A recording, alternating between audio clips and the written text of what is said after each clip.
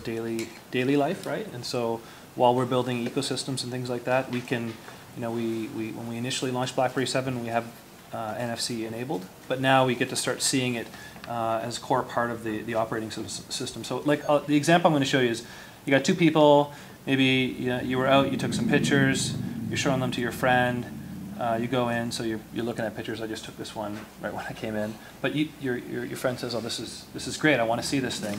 So you take the two phones, screens are on, kind of hold them back to back, and uh, they'll buzz. And then they connect, right? So on the sending phone, I get asked, do I actually want to send this thing over? And I can, I can dismiss this prompt if I don't want to get it again. But for now, I'll say, yes, I want to send it. On the receiving phone, it says, do you really want to receive this? Or, yep. I receive it. It makes a Bluetooth connection, so now I can take the phones apart. You know, if it was a big file, I could walk away. Um, and then when it's when it's finished on the receiving phone, it's got the picture shown up, right? And so, like Andrew said, you know, that pictures is one example. You can do it with videos, you can do it with um, ringtones, you can do it with uh, voice notes, voice memos, anything in the media the media set that we support, you can send. Contacts is another great example. I can go into my contacts list here. So now I got the the bold. Open up my contacts I can go into my contact list anywhere. I don't even have to open it. I can just be highlighting it. Uh, and on the receiving phone, I would just, just put the phones back to back. And then it'll send, uh, sort of goes through the same thing.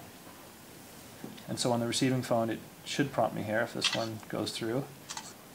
It's a demo, so don't hold me to, yeah, this one didn't, didn't pass the test. Let's try this one again, actually.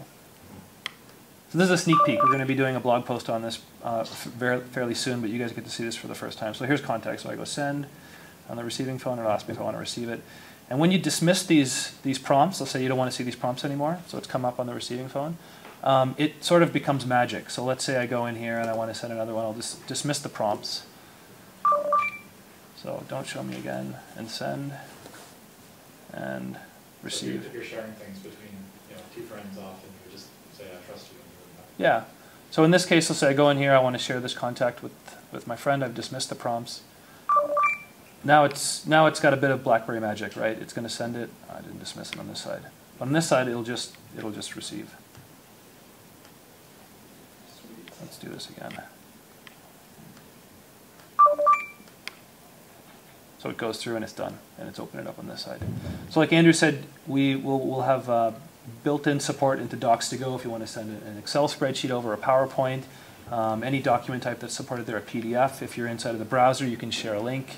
If you're on a web page, you want to share it with your buddy, tap the two phones together, and you would uh, that would open up their browser with, with the link. So we're pretty excited about it. Um, and then we open up APIs for third parties to go and, and implement their own experiences, right? So sky's the limit in terms of what a third-party developer can do, and so we make sure that we, we open that up for, um, for our ISV community. Any questions? Anything anybody